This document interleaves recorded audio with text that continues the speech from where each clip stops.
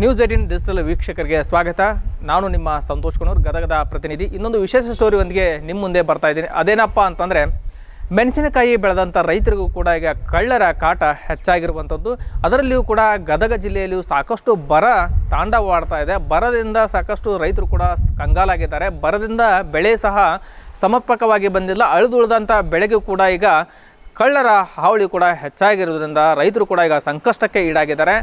ಹಗಲು ರಾತ್ರಿ ಎಂದೇ ಪಾಳೆಯ ಪ್ರಕಾರ ತಂದೆ ಮಕ್ಕಳು ಸಹ ಜಮೀನಿನಲ್ಲಿ ಮೆಣಸಿನಕಾಯಿಯನ್ನು ಕಾಯ್ತಾ ಇದ್ದಾರೆ. ಈಗ ಮೆಣಸಿನಕಾಯಿ ಕೂಡ ಮಾರುಕಟ್ಟೆಯಲ್ಲಿ ಸಿಕ್ಕಾಪಟ್ಟೆ ಡಿಮ್ಯಾಂಡ್ ಸಹ ಇರುವಂಥದ್ದು ಯಾಕಂದರೆ ಒಣ ಮೆಣಸಿನಕಾಯಿಗೆ ಈಗ ಸದ್ಯದ ರೇಟು ಸಹ ನಲವತ್ತೈದು ಸಾವಿರದಿಂದ ಐವತ್ತು ಸಾವಿರ ರೂಪಾಯಿವರೆಗೆ ಕ್ವಿಂಟಲ್ನಂತೆ ಈಗ ಮಾರಾಟವಾಗ್ತಾ ಇದೆ.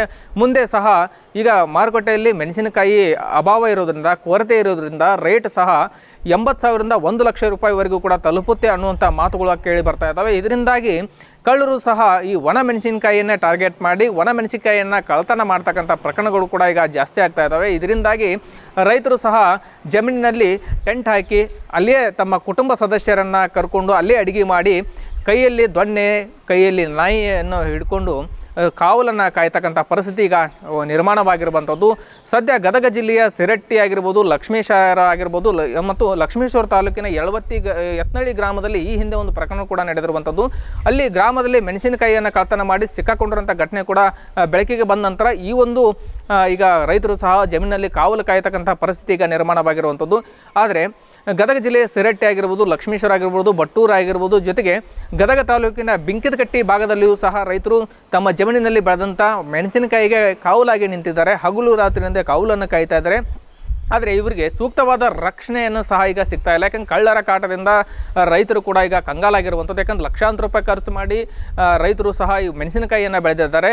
ಮೆಣಸಿನಕಾಯಿಗೆ ಕೂಡ ಈಗ ಕಳ್ಳರ ಒಂದು ಕಾಟ ಕೂಡ ಹೆಚ್ಚಾಗಿರೋದ್ರಿಂದ ಸಾಕಷ್ಟು ಗೋಳಾಡ್ತಿದ್ದಾರೆ ಇವರಿಗೆ ನೆರವಿಗೆ ಕೂಡ ಪೊಲೀಸ್ ಇಲಾಖೆ ಕೂಡ ಬರಬೇಕಾಗಿತ್ತು. ಆದರೆ ಪೊಲೀಸ್ ಇಲಾಖೆ ಕೂಡ ಯಾಕೋ ಮುತವರ್ಜಿ ವಹಿಸ್ತಾ ಇಲ್ಲ. ಅಲ್ಲಿ ಹಳ್ಳಿ ಹಳ್ಳಿಗೂ ಕೂಡ ಪೊಲೀಸರು ಕೂಡ ಒಂದು ದಸ್ತು ತಿರುಗುವಂಥ ಕೆಲಸವನ್ನು ಮಾಡಬೇಕಂದು ಗಸ್ತು ತಿರುಗುತ್ತಾ ಇಲ್ಲ. ಹೀಗಾಗಿ ಕಳ್ಳರು ಸಹ ರಾತ್ರಿ ರಾತ್ರಿ ರೈತರ ಜಮೀನುಗಳಿಗೆ ಎಂಟ್ರಿ ಕೊಟ್ಟು ಅಲ್ಲಿ ಕಳ್ತನ ಮಾಡಿ, ಯಾಕಂದ್ರೆ ಈಗ ಮೆಣಸಿನಕಾಯಿ ಮೆಣಸಿನಕಾಯಿಗೆ ಸಿಕ್ಕಾಪಟ್ಟೆ ಡಿಮ್ಯಾಂಡ್ ಕೂಡ ಇರೋದ್ರಿಂದ ಆ ಮೆಣಸಿನಕಾಯಿಯನ್ನು ಕಳ್ತನ ಮಾಡ್ಕೊಂಡು ಹೋದರೆ ಸಾಕಷ್ಟು ಸಂಕಷ್ಟಕ್ಕೆ ಸಿಗ್ತಾ, ಯಾಕಂದ್ರೆ ಈಗ ರೈತರಿಗೂ ಕೂಡ ಬರದಿಂದ ಕಂಗಾಲಾಗಿದ್ದಾರೆ ಜೊತೆಗೆ ಅವ್ರಿಗೆ ಬರಬೇಕಾಗಿಂತ ಪರಿಹಾರ ಸಹ ಬಂದಿಲ್ಲ. ಹೀಗಾಗಿ ರೈತರು ಸಹ ಒಂದು ಕಡೆ ಕಣ್ಣೀರು ಹಾಕುವ ಪರಿಸ್ಥಿತಿ ಕೂಡ ಈಗ ನಿರ್ಮಾಣವಾಗಿರುವಂಥ, ಯಾಕಂದರೆ ಇದಕ್ಕೆ ಸರ್ಕಾರ ಕೂಡ ಎಚ್ಚೆತ್ಕೊಳ್ಬೇಕು. ಈ ಒಂದು ರೈತರಿಗೆ ಆಗ್ತಕ್ಕಂಥ ನೋವು, ನಲುವಿಗೆ ಕೂಡ ಸರ್ಕಾರ ಸ್ಪಂದನೆ ಮಾಡಬೇಕು. ಜೊತೆಗೆ ಪೊಲೀಸ್ ಇಲಾಖೆಗೂ ಕೂಡ ಗಸ್ತು ತಿರುಗಿಸುವಂಥ ಕೆಲಸವನ್ನು ಮಾಡಬೇಕಿದೆ. ಇನ್ನು ಈ ಬಗ್ಗೆ ರೈತರು ಕೂಡ ಮಾತನಾಡಿದ್ದಾರೆ. ಅವರ ಸಮಸ್ಯೆಗಳೇನು ಆ ಸಮಸ್ಯೆಗಳಿಗೆ ಯಾವ ರೀತಿ ಎದುರಿಸ್ತಾ ಇದ್ದಾರೆ ಅನ್ನೋದ್ರ ಬಗ್ಗೆ ಮಾತನಾಡಿದ್ದಾರೆ. ಅವ್ರನ್ನ ಏನೇನೆಲ್ಲ ಮಾತಾಡಿದಾರೆ ಅಂತ ನೋಡ್ಕೊಂಡ್ ಬರೋಣ ಬನ್ನಿ. ಇಲ್ಲೇ ನಾವು ರಾತ್ರಿ ಆಗಲೂ ಇರ್ತೀವಿ ರೀ ಅಂದರೆ ಇದಕ್ಕೆ ಎರಡು ಲಕ್ಷ ರೂಪಾಯಿ ಮೂರು ಲಕ್ಷ ರೂಪಾಯಿ ಖರ್ಚು ಮಾಡೀವಿ ರೀ ಈಗ. ಎಕರೆಗೆ ಅಂತ ಇಲ್ಲ ಅಂದ್ರೆ ಮೂವತ್ತು ನಾಲ್ಕು ಸಾವಿರ ರೂಪಾಯಿ ಖರ್ಚು ಬರ್ತೈತೆ ರೀ ಹಗಲು ರಾತ್ರಿ ಇಲ್ಲಿ ಹಾಕಿರ್ತೀರಿ? ಇದು ಕಳ್ರ ಕಾಟಲ್ ರೀ ಇಲ್ಲ ಇದನ್ನ ಕಾಯಿಲಿಲ್ಲ ನಾವು ಮನೆಗೆ ಇದ್ರೆ ಮೆಣಸಿ ಗಿಡನೆಲ್ಲ ಏನಿಲ್ಲ. ಗಿಡ ಗಿಡ ಒಂದು ಸಿಗ್ತಾವೆ ನಮಗೆ. ಮತ್ತು ಮಳೆ ಇಲ್ಲ ಏನಿಲ್ಲ. ಮಳಿನೂ ಇಲ್ರಿ. ಮತ್ತು ಹಿಂಗಾಗಿ ಇದಕ್ಕೆ ಒಂದು ಕುಂತು ಬಿಡೋದು ರೀ ಎರಡು ದಿನ ಈಗ ಒಂದು ಒಂದು ಒಂದು ತಿಂಗಳು ಆತ್ರಿ ಒಂದು ಒಂದು ತಿಂಗಳು. ಸಿಗುಣಿಂದ ನಾಳೆ ಗೌರಿಣಿಗೆ ಒಂದು ತಿಂಗಳು ಆಯ್ತು. ಕಳ್ತನ ಏನಾರ ಆಗ್ಯಾವನ್ರಿ ಇಲ್ಲ? ಆಗಿಲ್ಲ. ಕಾಯ್ತೀವಲ್ರಿ ಹಗಲು ರಾತ್ರಿ. ಅಲ್ಲಲ್ಲ ಸುತ್ತಮುತ್ತಲ ಬೇರೆ ಕಡೆ? ಅಲ್ಲಿ ಮ್ಯಾಗ ಹಾಕತಿ ಅಂತಾರೆ. ಹಾಕತಿ ಅಂತಾರೆ. ಎಷ್ಟು ಎಕರೆ? ಇದು ಆರು ಎಕರೆ. ಈಗ ಇಲ್ಲಿ ಕಳ್ಳರ ಕಾಟ ಭಾಳ ರೀ ನಾವು ಕಷ್ಟಪಟ್ಟೆಲ್ಲ ಬೆಳೆದೀವಿ ರೀ ರೈತರು. ಹಾಗಾಗಿ ಅಲ್ಪ ಸ್ವಲ್ಪ ಉಳಿದಿರೋದನ್ನ ಉಳಿಸ್ಕೊಳ್ಳೋಣ ಅಂತಂದು ಬೆಳ್ತಕ್ಕನ ಕಷ್ಟಪಟ್ಟು ಕಾಯಕತ್ತೀವಿ ರೀ ಇಲ್ಲಿ. ಮೂರರಿಂದ ನಾಲ್ಕು ಲಕ್ಷ ರೂಪಾಯಿ ಖರ್ಚು ಮಾಡೀವಿ ರೀ ಆ ಬೆಳೆನ ಅಷ್ಟು ಕರೆಕ್ಟಾಗಿಲ್ಲ ರೀ ಬರಗಾಲ ಇದ್ದಿದ್ದಕ್ಕೆ ಏನೋ ಸ್ವಲ್ಪ ಐತ್ರಿ ಅದನ್ನ ಉಳಿಸ್ಕೊಳ್ಳೋಣ ಅಂತಂದು ಹೇಳಿ ಎಲ್ಲರೂ ಸೇರಿ ಇಲ್ಲೇ ಉಳಿಯೋ ಪರಿಸ್ಥಿತಿ ಬಂದೈತಿ ನಾಯಿಗೆ ಎಲ್ಲ ಕಟ್ಕೊಂಡು ಇಲ್ಲೇ ಉಳಿದೀವಿ ರೀ ಹೊಲ್ದಾಗ ನಮ್ದು ಒಂಬತ್ತು ಎಕರೆ ಐತ್ರಿ. ಒಂಬತ್ತು ಎಕರೆ ಅಷ್ಟು ಮೆಣಸಿನ ಗಿಡ ರೀ ಇದು. ಒಂಬತ್ತು ಎಕರೆನ. ಹಂಗಾಗಿ ಇಲ್ಲೇ ಕಾಯೋ ಪರಿಸ್ಥಿತಿ ಬಂದದ್ರಿ ಎಷ್ಟು ಖರ್ಚು ಮಾಡಿರಿ? ಮೂರಿಂದ ನಾಲ್ಕು ಲಕ್ಷ ರೂಪಾಯಿ ಖರ್ಚಾಗೈತೆ ರೀ. ಈಗ ಒಂದೊಂದು ಎಕರೆಗೆ ಮೂವತ್ತರಿಂದ ನಲ್ವತ್ತು ಸಾವಿರ ರೂಪಾಯಿ ಖರ್ಚಾಗೈತೆ ರೀ. ಒಟ್ಟು ಮೂರನೇ ನಾಲ್ಕು ಲಕ್ಷ ಖರ್ಚಾಗೈತಿ ಹೌದು ಈಗ ಯಾಕೆ ಈಗ ಕಾಯಕ್ಕೆ ಯಾಕೆ ಬಂದಿರಿ?